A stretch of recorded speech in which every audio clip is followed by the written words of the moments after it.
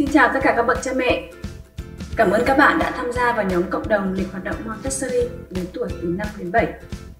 Chắc hẳn các bạn đã rất là hào hứng khi cầm trên tay cuốn lịch hoạt động Montessori của chúng tôi và nôn nóng muốn thực hiện ngay cùng với con của mình. Khi sở hữu bộ lịch của chúng tôi trên tay thì vẫn còn rất là nhiều phụ huynh đang băn khoăn không biết là nên bắt đầu từ đâu và bắt đầu như thế nào. Vậy sau đây là các bước để gợi ý cho các bạn có thể bắt đầu thực hiện bộ lịch nhé.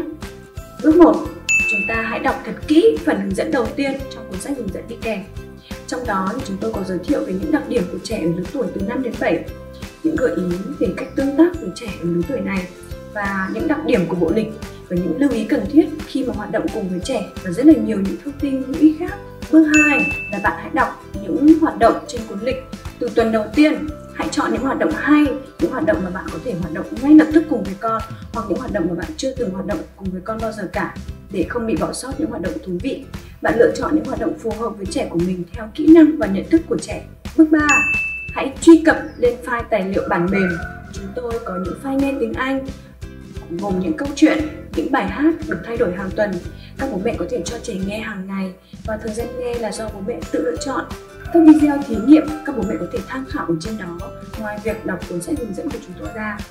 Ngoài ra thì chúng tôi còn có những file in thẻ mà chúng tôi có sưu tầm được để dành tặng cho các bạn để các bạn có thể in ra để hoạt động cùng với con của mình.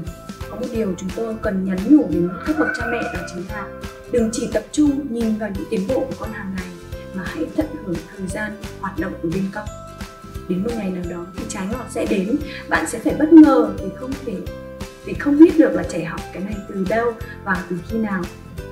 hãy cho trẻ được trải nghiệm sự lặp đi lặp lại các hoạt động để đó trở thành những kỹ năng của trẻ và đó chính là mục đích của chúng tôi khi xây dựng lên bộ lịch Cảm ơn các bạn đã lựa chọn bộ lịch hoạt động của Xuân để cùng hành với con của mình trong những năm đầu đời. Chắc chắn đó là sự lựa chọn đúng đắn và chúng ta cùng tham gia vào cộng đồng lịch hoạt động Montessori lứa tuổi từ 5 đến 7 để cùng nhau học hỏi, cùng nhau chia sẻ, trao đổi những kinh nghiệm của mình khi thực hành cùng với con. Để nhóm cộng đồng của chúng ta thực sự hiệu quả thì chúng tôi hy vọng rằng các bạn có thể đặt những câu hỏi, những thắc mắc của mình để chúng tôi được hỗ trợ. Chia sẻ những đoạn video ghi lại hình ảnh mà bạn cùng với con hoạt động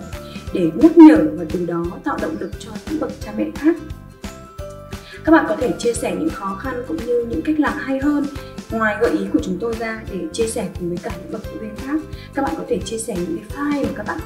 Ờ, có thể sưu tầm được từ bên ngoài để chia sẻ cho mọi người để chúng ta cùng có một cộng đồng hoạt động cùng với con, thực sự là hiệu quả nhé chúng tôi luôn sẵn sàng hỗ trợ các bậc cha mẹ những vấn đề có liên quan đến trong quá trình đồng hành cùng với con của mình. Cảm ơn các bạn đã tin tưởng và lựa chọn lịch hoạt động Montessori cùng với sâu